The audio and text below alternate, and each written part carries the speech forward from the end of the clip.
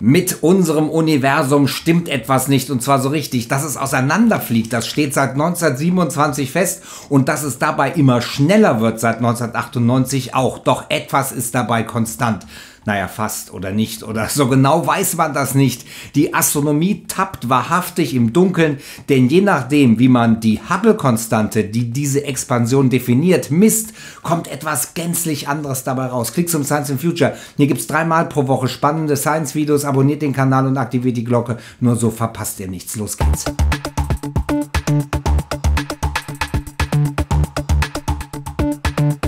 Herzlich willkommen. Dieses Video ist entstanden in Kooperation mit Readly.de, dem digitalen Abo-Kiosk für Smartphone oder Tablet. Für nur regulär 9,99 Euro gibt es nahezu alle Magazine und Zeitschriften. Der Link ist hier unter dem i mit einem besonders günstigen Sonderangebot für euch. Hier unter dem Link gibt es die ersten beiden Monate für nur jeweils 1,99 Euro, ab dann 9,99 Euro und es kann jederzeit gekündigt werden. Und wir haben dieses mega spannende Thema dort auf readly.de aus Spektrum, Sterne und Weltraum aber es gibt noch mehr als 5000 weitere Magazine dazu auf Weekly. Weekly ist wie das Netflix für Magazine.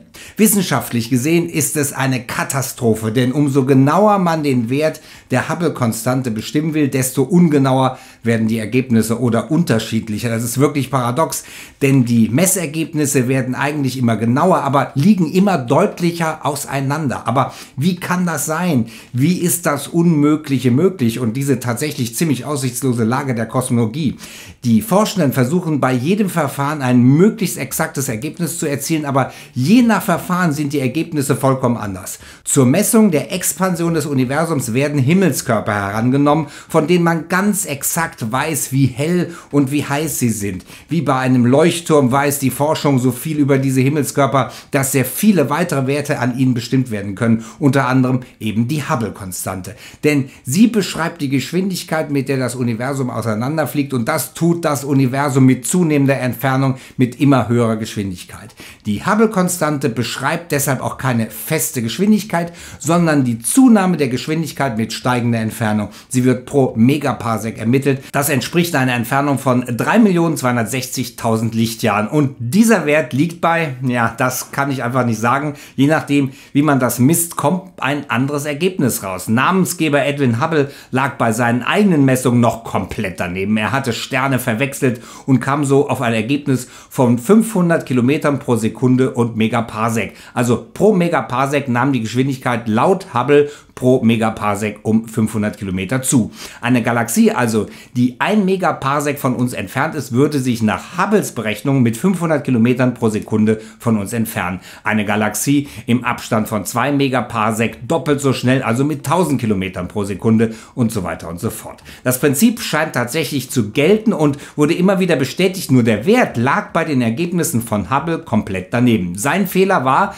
dass er andere Sterne mit den Cepheiden verwechselt. Diese Sterne verändern periodisch ihre Leuchtkraft und Größe und mit Hilfe der Dauer der Periode kann ihre Leuchtkraft definiert werden. Das heißt, dass man ihre Helligkeit sehr genau kennt und damit ihre Entfernung exakt bestimmen kann. Verwechselt man diese Sterne nun, wie es Hubble unterlaufen ist, dann kommt man zu falschen Ergebnissen. Da die Leuchtkraft mit der Entfernung abnimmt, weiß man damit sehr genau, wie weit sie entfernt sind. Die Geschwindigkeit kann jetzt durch die Rotverschiebung des Lichts ermittelt werden. Die setzt sich zusammen aus der Eigengeschwindigkeit von Objekten und eben der Expansion des Universums. Universums. Für beide gilt, wenn sich Objekte von uns entfernen, dann wird die Frequenz niedriger, beim Licht röter, bei Schall tiefer. Das kennen wir als Doppler-Effekt vom vorbeifahrenden Autos mit Martinshorn. Kommen sie auf uns zu, ist der Ton hoch und entfernen sie sich, wird der Ton tiefer. Jetzt muss man die Eigengeschwindigkeit der Sterne herausrechnen und schon hat man die Geschwindigkeit, mit der sich die Sterne entfernen. Weitere Sterne, bei denen man die Leuchtkraft genau kennt, sind Supernovae vom Typ 1a oder rote Riesensterne wie zum Beispiel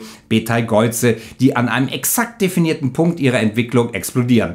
Es gibt also drei verschiedene Arten von Sternen, bei denen die Astronomie so viel über sie weiß, dass sie Entfernung und Geschwindigkeit exakt bestimmen kann. Aber auch mit der kosmischen Hintergrundstrahlung oder Gravitationslinsen lässt sich die Hubble-Konstante bestimmen. Von all diesen kosmischen Phänomenen gibt es so viele Informationen, dass die Hubble-Konstante exakt bestimmt werden kann. Und jetzt wird's frustrierend, diese exakten Ergebnisse sind grundverschieden. Erst Anfang der 10er Jahre wurden die Daten des Planck-Weltraumteleskops veröffentlicht. Es lieferte die bislang detailreichste Karte der kosmischen Hintergrundstrahlung und eine Hubble-Konstante von 67,74 Kilometer pro Sekunde je Megaparsec. Das Spitzer Weltraumteleskop lieferte dagegen anhand von Cepheiden davor einen Wert von 74,3. Das Hubble Weltraumteleskop wiederum mit Cepheiden und Supernovae vom Typ 1a 74,2. Die beiden Werte liegen ja wenigstens einigermaßen beieinander und wenn man berücksichtigt, dass beide Messungen eine Abweichung von plus minus 2,1 Kilometer pro Sekunde und Megaparsec bei Spitzer und 3,6 beim Hubble Weltraumteleskop zulassen, dann decken sich die Ergebnisse fast. Zunichte machen das aber wieder die Messungen an Gravitationslinsen, also so starken Gravitationsfeldern, zum Beispiel um Galaxien, die das Licht von Objekten wie eine Linse so stark krümmen, dass Galaxien dahinter zwei oder sogar viermal auftauchen. Dabei legt das Licht unterschiedliche Wege zurück. Zum einen sind es tatsächlich Umwege durch die Krümmung der Raumzeit in der Gravitationslinse und zum anderen unterliegt ein Lichtstrahl, der durch den dichteren Teil der Gravitationslinse zu uns gelangt, größeren relativistischen Effekten, das heißt einer größeren Zeitdilatation. Die Zeit im Lichtstrahl läuft langsamer. Das sind Effekte von einigen Wochen und Monaten. Das Ergebnis 69,7 Kilometer pro Sekunde und Megaparsec. Es ist wirklich zum Mäusemelken. Und es geht hier nicht um irgendeine Petitesse, eine Unwichtigkeit. Diese unterschiedlichen Ergebnisse stellen die gesamte Kosmologie in Frage. Stimmt da etwa alles nicht, was wir über unseren Kosmos wissen? Welche der drei Grundannahmen sind also falsch? Gilt die Relativitätstheorie nicht? Das ist mit an Sicherheit grenzender Wahrscheinlichkeit auszuschließen. Sie wurde in so unendlich vielen praktischen Versuchen immer wieder bestätigt. Das ist nahezu unmöglich. Gibt es etwa keine dunkle Materie? Oder stimmt etwas nicht mit der dunklen Energie? Für die dunkle Materie gibt es ja eine heiße Spur. Wir haben hier ja gerade erst mit Professor Günther Hasinger gesprochen, dem wissenschaftlichen Direktor der ESA, der schwarze Löcher für die dunkle Materie hält. Und die dunkle Energie, da gibt es ja die größten Fragezeichen. Könnte es hier durch die Vereinigung von Quantenphysik und Relativitätstheorie eine neue Sichtweise ergeben? Ist es vielleicht ein Feld, das in mehr als in unseren bekannten vier Dimensionen existiert und dadurch veränderlich ist. Denn wir dürfen nicht vergessen, umso weiter weg die gemessenen Objekte zur Bestimmung der Hubble-Konstante sind, desto älter sind sie und damals könnte eben ein anderer Wert für die dunkle Energie gegolten haben. Und das würde bedeuten, dass wir in einem ganz anderen Universum leben, als wir bisher gedacht haben. Das Thema stammt aus Readly.de, eine App, die ich schon seit geraumer Zeit nutze, weil man da wirklich nahezu alles findet, wie zum Beispiel hier die Hubble-Krise in Spektrum, Sterne und Weltraum. Allein für dieses Magazin lohnt sich schon das Readly-Abo und es ist papierfrei, kein einziger Baum wird gerodet. Aber auf Readly gibt es noch weitere mehr als 5000 Magazine. Das Sonderangebot für euch gibt es hier. Einfach draufklicken. Der Link ist übrigens auch in der Videobeschreibung. Also draufklicken und los geht's. Bis dann. Bleibt dran.